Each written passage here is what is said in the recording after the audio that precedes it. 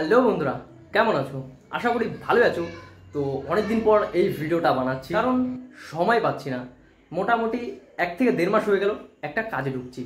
কাজটা হচ্ছে যে ceiling fan, table fan, pump, washing machine, geyser মানে ইলেকট্রনিক্স যত ডিভাইস আছে না, সেগুলো রিপেয়ারিংয়ের শপে ঢুকছি। তো এর জন্য সময় পাচ্ছি না। সেই দোকানে থাকতে লাগে আমাকে মোটামুটি বারো ঘণ্টার মতন। সকাল দশটার দিকে বেরোয় যাই বাড়িতে রাত মোটামুটি সাড়ে দশটার মতন বেজে যায় বাড়িতে আস্তে আস্তে।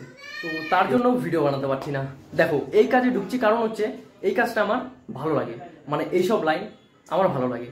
তো আগের যে টপিকে ভিডিও বানাতাম, আশা করি একটু লেট হবে ওসব ভিডিও বানাতে। ঠিক আছে?